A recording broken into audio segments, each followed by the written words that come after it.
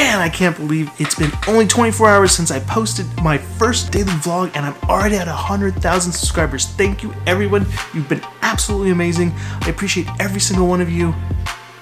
I'm actually at 36 subscribers. But that's okay because this vlog is all about patience and enjoying being where you're at.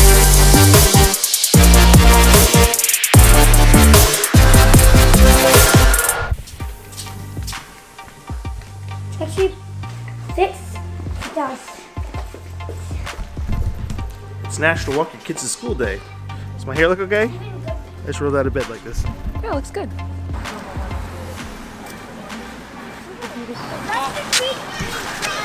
You have crazy socks day? Yeah, no, not really. Is it supposed to be crazy sock day? Yes.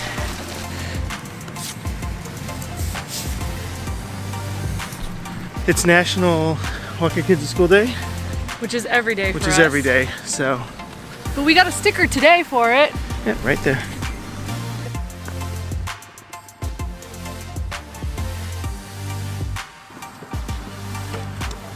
No. B-roll. Who knew how much exercise it would be? This is ridiculous. Is it? Love it. It's day two. I remember the day I went ice skating and a chick sat skated the entire two hours with her phone in front of her like this as she's skating and I was so annoyed. And here we are. And here we are. Exact same situation, except it's not two hours.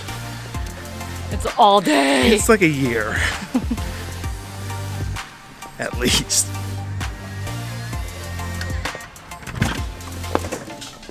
Alright, so today was National Walk Your Kids to School Day, and it was an absolute joy to actually walk my kids to school. I, I do it normally, but today was just you know, a little bit extra special because I started the vlog, I brought the camera along, I really wanted to like capture the moment of, you know, getting to school with my kids and like you know ushering them off into the educational system and everything and along the way they were talking about you know halloween and the things that are coming up and christmas and and you know how next year they want to be in uh, this particular class and that stuff. So it's they they weren't really enjoying where they're at right? As we're little we sort of look at the world as stepping stones into the next place, right? When you're in fifth grade, you want to be in sixth grade. When you're in sixth grade, you want to be in high school. And then in high school, you want to drive. And then when you want to drive, you want to get a car and, and go to college. And, you know, it's all these stepping stones. And we continually do it here with vlogging and with content creation. It's like we obsess about these numbers and about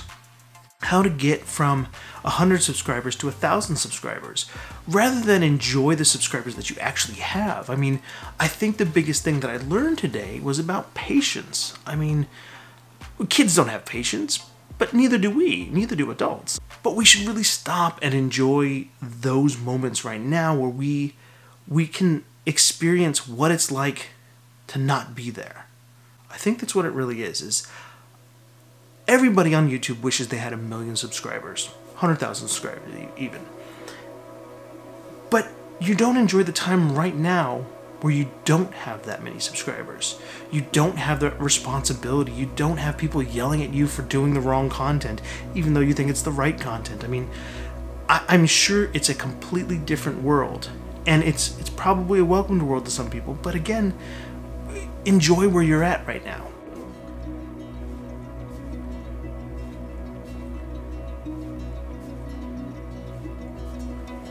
So my daughter's in hockey, and she absolutely loves playing. She has the patience and the drive to just keep practicing. She's not at any high level yet, but she's enjoying the process. She goes out into the front yard and, and into the driveway and practices skating all the time and practices puck handling and, and really gets into the role of just who she is and where she's at. And I really appreciate that mindset. I mean, it's a determination, but it's it's a determination without the assumption of where she's going to go. She gets into her entire uniform just to practice and skate around the neighborhood. She has that kind of determination and that kind of patience that we should all have. And it's taught me a big thing to sort of slow down and enjoy right now. I'm in vlog two, and And so far, yesterday, I enjoyed doing it. And today, I enjoyed taking the camera around and shooting again. So it's that process of I don't have to worry right now about negative comments and losing thousands of subscribers just because of one video post or something I said that was just a little off. I don't have to worry about any of that right now. And, and I may never have to worry about that.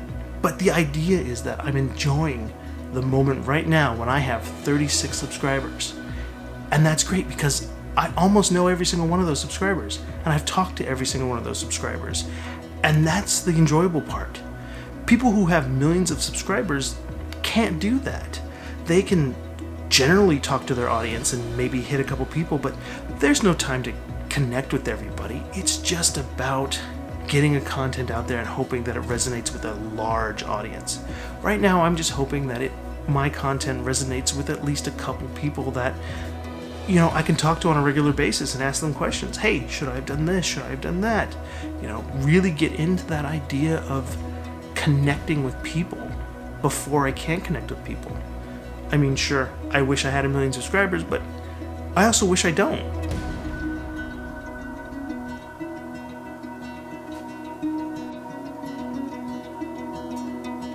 Patience is key because don't always look at the next step. The next step's not the answer. Right now's the answer.